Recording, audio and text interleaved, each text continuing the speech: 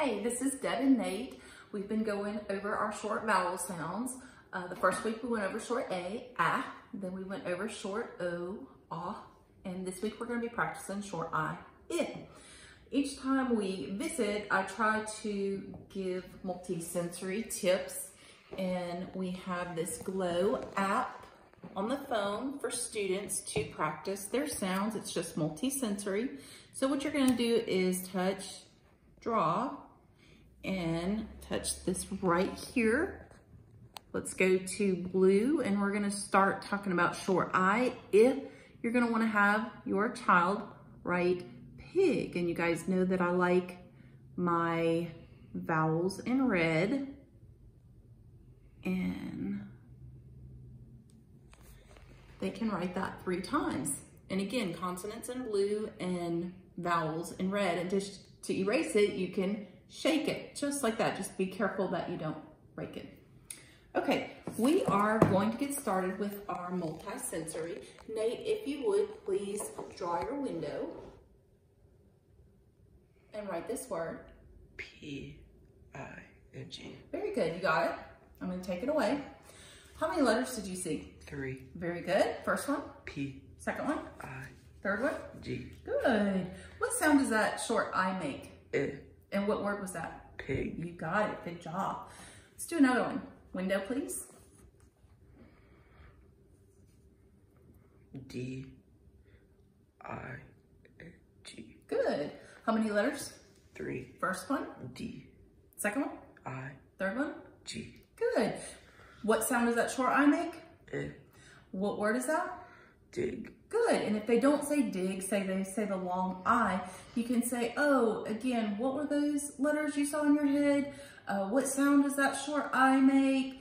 And try to pull out the answer. If they're still struggling, then you can show them the word and start over. Okay, so Nate, we have dig, D-I-G, got it?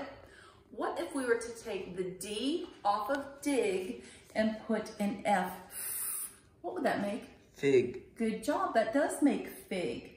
Okay, and you can do that with a couple of word chains, like you could say, take the F off of fig and put a W. What word is that? What ig. What word? Wig. Okay, we're gonna do a new word chain called ending it. Make your window, please.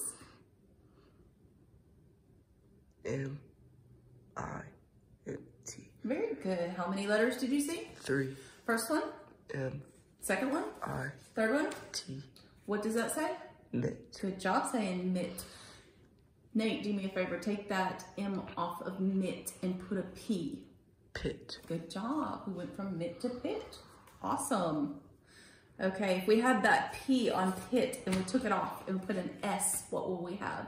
Sit. Sit. Good job. All right, now we're gonna go to reinforcing the skill. These are the new words. You would say the sound and say each word. Here you would circle the word that goes with each picture. So that's Bob, job, lot. And of course that's Bob, so they would circle Bob. Here's your sight words, your challenge words. And again, your stories that you're gonna read, you're gonna wanna do I do, we do, you do, I do first. Bob has a big box. Some catnip is in the box. Canvas is on the top. The cat cannot go after the catnip. Okay, now we're gonna do it, and this is actually called oral cloze, and I'm gonna leave out a word, and Nate's going to fill in for me. We really wanna target the skill we're going over, so I'm gonna try to pick the short I words. Bob has a Big. box. Some catnip Is. In. the box. Canvas Is. on the top. The cat cannot go after the cat. Nip. Very good. This next page, what you're gonna do is say the word, fill in the blank with the word that has the same ending sound. So lot. The water is hot. So that's what you do on this page. Next page, you're gonna draw a line under the sentence that goes with each picture. A, ro a robin sat on a box. A cat ran to the catnip. Well, I know that's a robin on a box, so I would underline that sentence. Okay, guys, keep practicing your sounds, keep reading. Y'all have a good day. Talk to you, see you soon. Bye.